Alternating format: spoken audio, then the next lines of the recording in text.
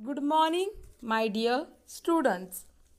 So, students, in previous lecture we have saw about manufacturing of cloth, basic of sewing and stitching. So, where we have saw about different types of clothes like rough clothes, smooth textile, vel- velvet, and etc. So, this we have studied in our previous lecture Now, in today's lecture, we are going to see all the remaining parts of do part. तो आज के lecture में जितने भी do parts के topic बाकी है वो पूरे करने वाले हैं। So students are you ready to learn the new topic very good so without wasting your time kindly open your EVS combined book page number 82। So let start it so the first topic is puppet making so how to make a puppet so this is a homework ये आपका homework है। ये आपको घर पे try करना है। तो ये घर पे आप प्रैक्टिस करने वाले हो। तो ये कैसे बनाना है, खाली मैं एक्सप्लेन करने वाली हूँ। बाकी आपको आपके घर पे प्रैक्टिस करना है। So this is a homework just an activity which you have to do at home so first puppet making puppet made out of pictures and cardboard puppet making यानी क्या? तो कोई भी एक शेप कोई भी एक कार्टून का शेप वो हमें ड्रॉ करना है। और वो हमें उसका जो शेप हमने ड्रॉ किया वो कट करके हमें किसी ऑब्जेक्ट के ऊपर चिपकाना है ताकि वो पपेट जैसा लगे। That's call as puppet making puppet made out of pictures and cardboard तो यहाँ पे पपेट कैसे बनाते हैं? पिक्चर लेके और कार्डबोर्ड के ऊपर उसको चिपका के वो जो है वो हम बनाते हैं। सो so, इसके लिए कौन से कौन से मटेरियल हमें चाहिए? Outline paper of bird and animal अभी जिस थिंग का हम पपेट बना रहे हैं उसका हमें आउटलाइन चाहिए, यानी उसका जो ड्राइंग है वो हमें चाहिए। अगर हम बर्ड का या एनिमल का बना रहे तो हमें बर्ड का या एनिमल का आउटलाइन चाहिए। फिर glue glue and gum means gum cardboard cardboard यानी जो बड़ा वाला वाइट कार्डबोर्ड रहता है, पुट्ठा, वो हमें चाहिए। स्टिक स्टिक यान आइसक्रीम स्टिक चाहिए हमें। आइसक्रीम स्टिक की ज़रूरत है, ताकि वो जो आउटलाइन हमने ड्रॉ किए उसको कट करके वो जो स्टिक है उसके ऊपर हम चिपकाने वाले। फिर उसके बाद सेलो टेप चिपकाने के लिए टेप की ज़रूरत है। फिर सीज़र जो आउटलाइन हम कट करने वाले वो सीज़र से कट करने वाले हैं। फिर क्रेयॉन्स मार्कर और कलर पेंसिल जो आउटलाइन हमने निकाला है उसको हमें कलर करना पड़ेगा। उसको हमें अट्रैक्टिव बनाना पड़ेगा। तो हमें इसके लिए क्रेयॉन्स मार्कर या कलर पेन की ज़रूरत है। सो so, मटेरियल्स कौन से कौन से चाहिए?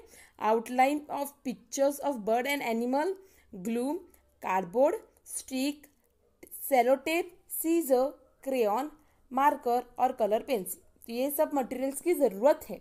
ना यहाँ पे उन्होंने स्टेप्स दिए तो वो स्टेप्स हम देखने वाले follow the given below step to make a stick puppet तो यहाँ पे जो स्टेप है, वो एक वन बाय वन हम देखने वाले first step outline of a picture तो यहाँ पे आपको पिक्चर का आउटलाइन ड्रॉ करना है। जैसे उन्होंने ड्रॉ किए सेम आपको भी आउटलाइन ऑफ़ पिक्चर ड्रॉ करना है। उसके बाद colour the outline picture with favourite colour फिर वो जो आउटलाइन पिक्चर आपने ड्रॉ किया है उसको आपको अपने फेवरेट कलर से कलर करना है। कलर करने के बाद क्या है? Third step stick the picture on the cardboard जो पिक्चर आपने ड्राइंग पे, पेपर पे जो ड्रॉ किया था वो पिक्चर अभी आपको कार्डबोर्ड के ऊपर स्टिक करना है।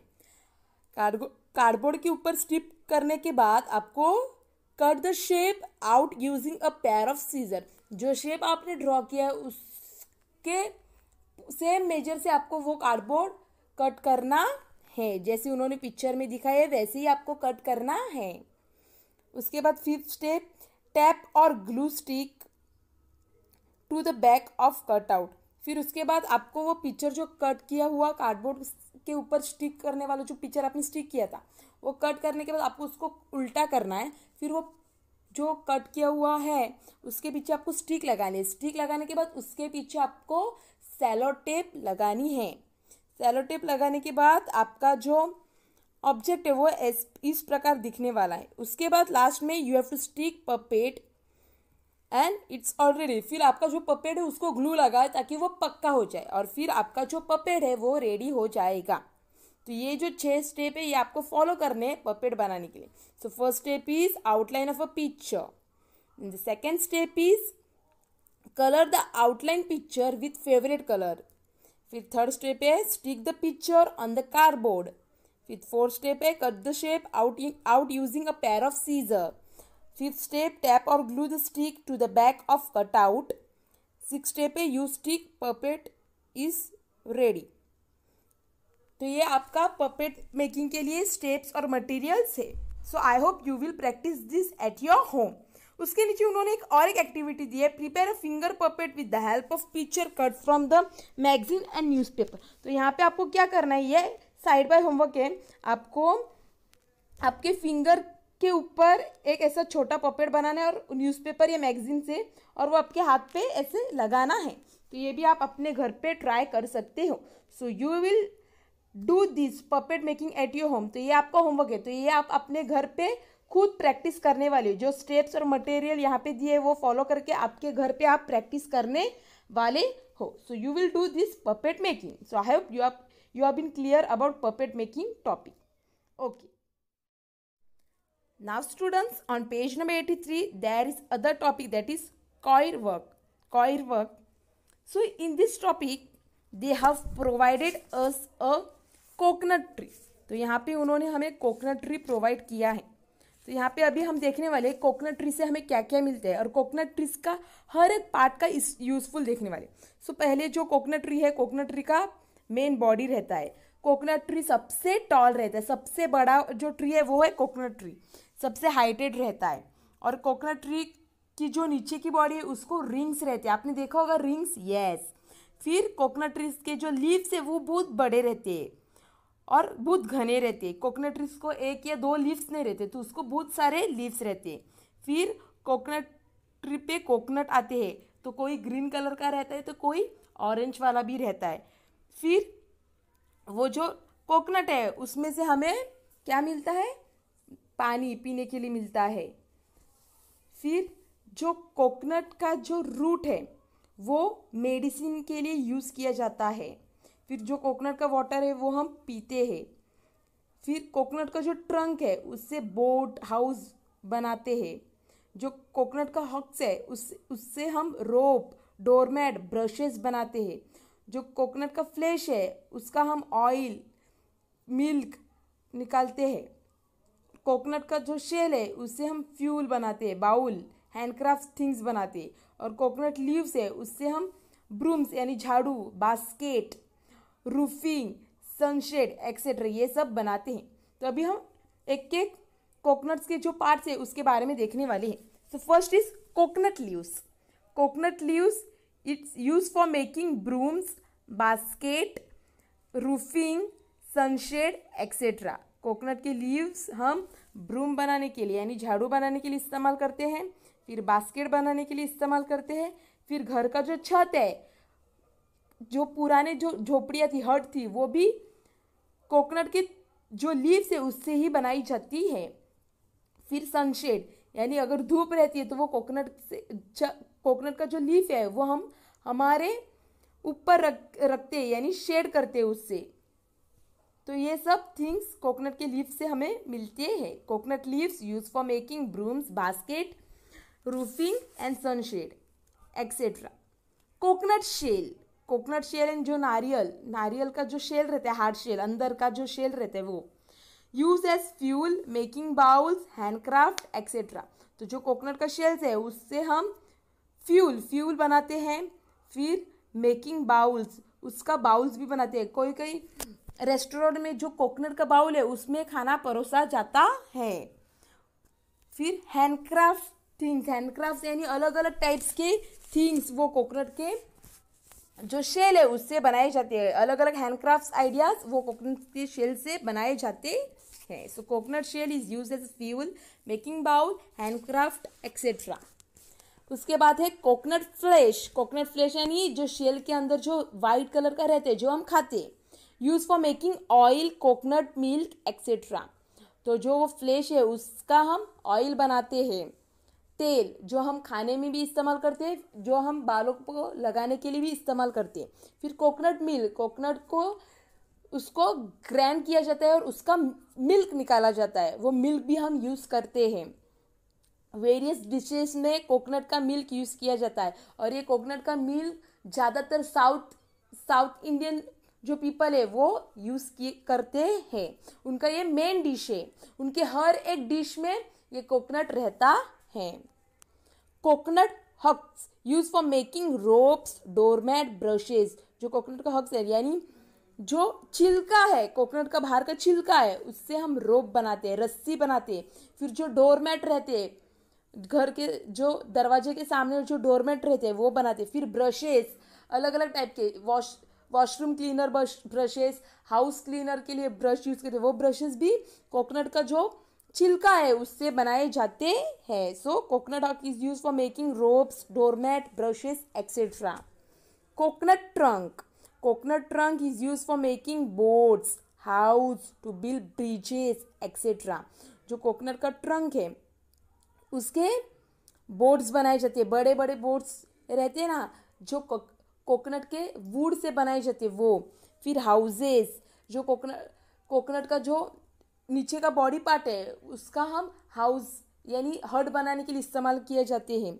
टू बिल्ड ब्रिजेज ब्रिज बनाने के लिए भी उसका इस्तेमाल किया जाता है।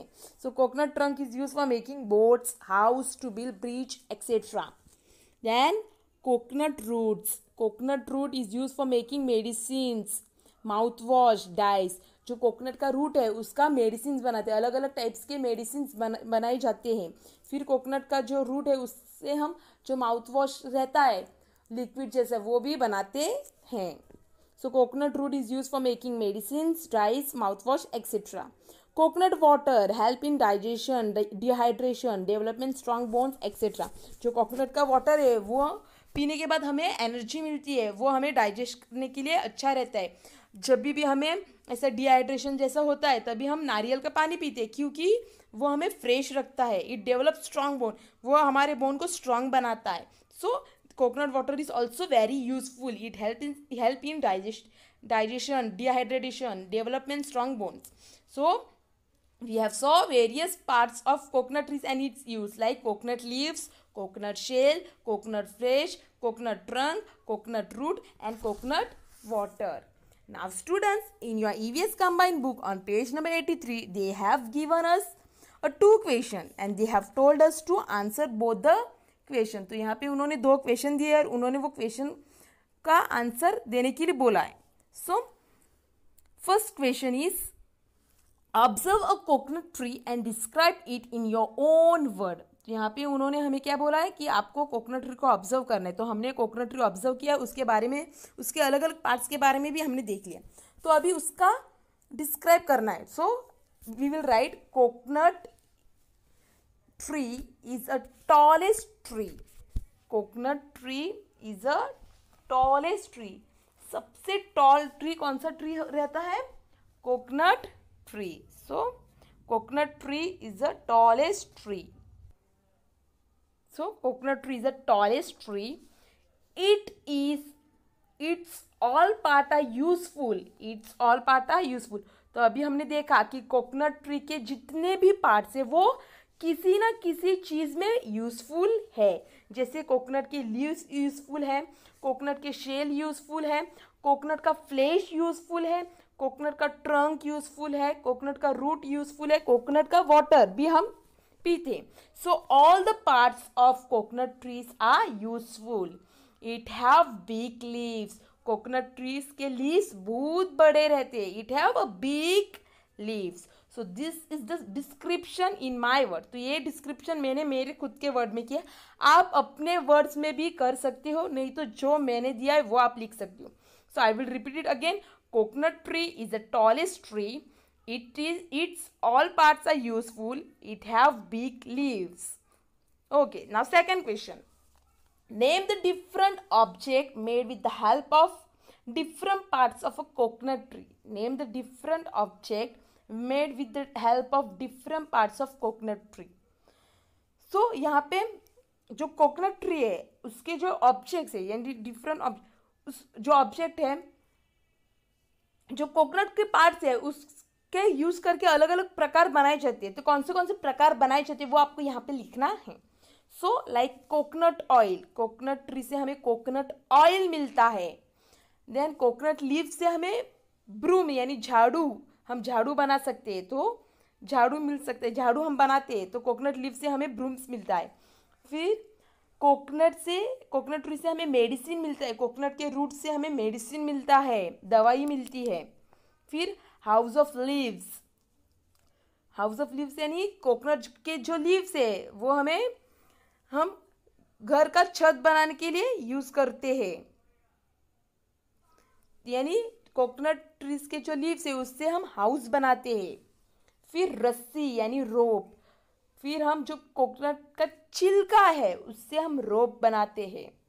फिर शेल्स कप जो कोकोनट का जो शेल है हार्ड शेल उसका हम कप बनाते हैं उसमें हम सर्व करते हैं फ़ूड सो कोकोनट का शेल्स हम कप के इसमें यूज़ करते हैं so name the different object made with the help of different parts of coconut Riya coconut oil brooms medicine house of leaves ropes, shells and cup. So students, you will complete this in your EVS combined book on page number 83. Now students, on page number 84, there is clay work. वहाँ पे उन्होंने clay work दिया है। Clay work आपको ये आपका homework है। तो आपको होमवर्क करना है। इसमें क्या करना है? तो आपको क्ले से एक डो बनाना है। तो यहाँ पे उन्होंने दिया है। आपको वो क्ले से एक डो बनाना है। तो आप ये घर पे ट्राई करने वाले हो। So this clay work you will try at your home so I hope you will do it. तो ये जो क्ले वर्क है, इसका जो फोर स्टेप है, वो आपको फॉलो करना है।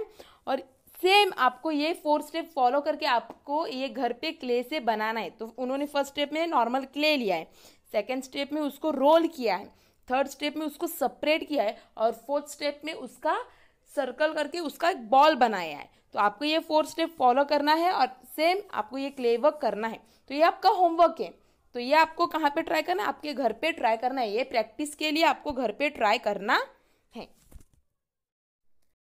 So students latest recap what we have learn in today's lecture so in today's lecture we have learn about puppet making where we have saw six steps to make a puppet then page number eighty we have saw about a coconut tree where we have describe its various parts and useful of coconut tree And then on page number 84 we have saw about clay work which is homework for you.